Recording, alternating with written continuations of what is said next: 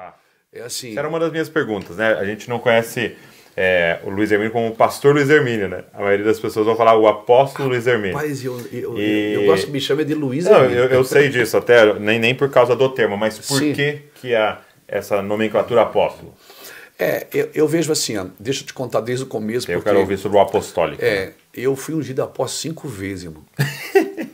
Rapaz, eu tinha, eu tinha medo de ser chamado de apóstolo, tinha vergonha de ser É, é. chamado de apóstolo, até porque assim, a a- o modelo apostólico que a gente tinha na época, assim, para mim, não, não tocando no caráter dos meus irmãos, Sim, nada sim. disso, mas é, a movimentação apostólica, eu disse, cara, não, não pode ser só isso.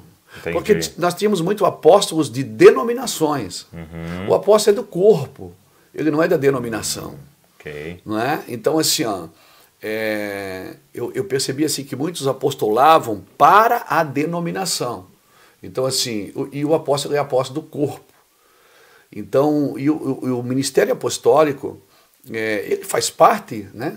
Nós temos até um, um trabalho no, no Ministério Mevan que a gente chama o Fator Éfeso, que a gente trabalha a- a- os cinco ministérios assim Ok, bem específicos. A gente não sai ungindo, você é apóstolo, você é missionário, você não, não, não. Con- Consagramos alguém ao ministério, a gente consagra ao ministério Ao servir. ao serviço. E aí o ministério vai alcançar ele, né? Porque eu vejo que hoje muitas dificuldades, eh, Douglas, eh, pode ser que eu esteja errado, eu vou dar minha, minha opinião aqui. Nós herdamos dos nossos irmãos americanos, né? inclusive nós Tamo estamos aqui, aqui, tamo aqui. estamos aqui, vamos respeitar os nossos irmãos. a terra nós, aqui. fomos, nós fomos discipulados pelos nossos irmãos americanos. Sim, sim. Que qual É era a cultura? Uma mega, ultra, super igreja com um homem só que fazia tudo Sim. o pastor da igreja. Meu Deus, é- ele fazia tudo. O cara, o cara era desde encanador até pregador. No final da vida, esse cara está doente, ele está cansado, ele está morto, porque ele não aguenta fazer tudo. Aí nós já tínhamos um problema. Uma igreja com fundamento pastoral. Hum, e fundamento pastoral é difícil, porque você acha, todo mundo acha que um tem que cuidar do outro sempre. Não. Você pode cuidar de uma pessoa a vida inteira e nunca desenvolver ela. ela precisa ser desenvolvida para você soltar. Você falou do casamento, é isso mesmo. É. O filho tem que ser desenvolvido para que ele vá e continue outra família. Então a gente tinha um problema que a gente tinha uma cultura de um fundamento pastoral. Aí de 30, 40 anos para cá, a gente começou a receber uma influência dos nossos irmãos latinos americanos, Ok. que veio o ministério apostólico, a, a- a movimentação apostólica, todo mundo. E aí, cara, também eu, eu acho que houve um, houve um descuido de muita gente ungindo apóstolo que não era apóstolo, por causa do, da movimentação. E aí eu vejo assim, né? Então, isso é uma palavra de Luiz Hermínio, se não for, você aborta aí, mas vai ser bom para sua vida, entenda. Nós tínhamos um trabalho no Brasil que era uma igreja com fundamento pastoral, que está errado, não era um, esse não é desse jeito. E aí a gente começou a ter dois problemas: uma igreja com fundamento pastoral e um movimento apostólico. E eu acho que o meu trabalho hoje, o trabalho do Mevon, é fazer isso: é trazer a igreja para o fundamento, Fundamento apostólico e o movimento pastoral. Uau. Entendeu? Ok. O fundamento era pastoral e o movimento apostólico. Não, o fundamento é apostólico e o movimento pastoral. Você fala isso com base no que, Luiz? Eu falo isso com base em Atos capítulo 8. Né? É, Felipe vai para Samaria, cara, faz um estardalhaço em Samaria, prega e, e Samaria se converte, multidões e multidões, cura, poder de Deus, até Simão o mágico aceitou Jesus, foi para o ministério, só que depois precisou ir Pedro e João para trazer um fundamento.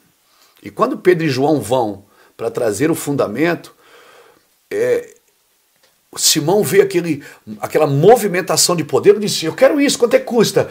Aí Pedro olha para ele e diz: Cara, você está em laço de iniquidade e raiz de amargura. Aí ele disse: oh, Então ora por mim, pelo amor de Deus, perdão. Ou seja, o que, que eu aprendo aqui? Atos capítulo 8. Samaria já tinha sido evangelizada. Hum, Então já viu um- Estava um, um movimento evangelístico. Exato, estava sendo pastoreada, mas ela precisava de um fundamento correto. Entendi. Entendi. Então aí, Douglas, que entra para mim o ministério apostólico. O ministério apostólico ele trabalha nos fundamentos. É. É, e não é o ministério apostólico denominacional. ele é de fundamentos. E como eu disse, eu fui ungido de apóstolo cinco vezes, cara. 99, eu estava lá em Mendonça, na Argentina, uma equipe de irmãos da Argentina, que estava num concílio latino-americano de Nova York, tinha um, um, uns, uns, apóstolos de Nova York, foram lá, eu, eu fui fazer uma, uma campanha evangelística. Fui pregar um sábado à noite e um domingo de manhã. Era Manhã de Fuego. E eu fui Manhã de Fuego e foi maravilhoso. Me apresentaram assim, Luiz Hermínio, que tem o raio-x nos seus olhos, vai olhar para você e vai ministrar. ok. E aí, eu estou lá sentado e tem dois velhinhos, dois senhores sentados no altar e começam a chorar. Hum. Eles começam a chorar e começam a me olhar. E eu estou lá sentadinho perto deles. Eles começam a chamar e aí para o culto. Ele fala com o pastor que estava ministrando, que, eu, que era o pastor presidente da igreja, assim, chama aquele moço que era eu. Eu ia pregar depois deles. Era amanhã. Ele me chamou e disse, Oster é um apóstolo. Eu digo, eu? Eu estava tentando pregar na tarde da benção. eu só queria orar na tarde da benção, curar alguns enfermos. Tarde da benção, meu filho. Campanha da água ungida. Era só o que eu queria. Eu não tinha essas pretensões.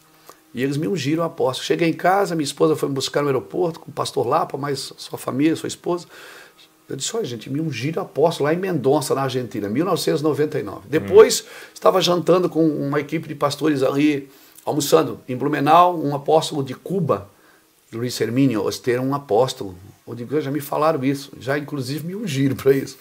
Me ungiu de novo. Aí depois, eh, o apóstolo, é, o apóstolo de Suzano, esqueci o nome dele agora, é, é, me ungiu apóstolo também, foi lá no meu vão pregar e disse, Luiz, você é um apóstolo. Né? Você é um apóstolo, você precisa reconhecer isso. Eu digo, amém. Léo, apóstolo Léo. Ok. E está bem, mas eu tinha, sabe, eu tinha dificuldade de lidar com isso, porque, cara, como você estava dizendo, assim, eu dizia, puxa, cara, isso será que não vai soar como soberba, como uhum, uhum. cara, se ele assumir uma posição que eu não sou, cara, cheio de defeitos, eu estava vindo né, de, do mundo, novo convertido, uhum. fazia sete anos, oito anos que eu era cristão. Eu disse que eu sou um apóstolo, cara, eu estou tentando é, cuidar da minha esposa, cuidar dos meus filhos, eu não estou conseguindo, é difícil.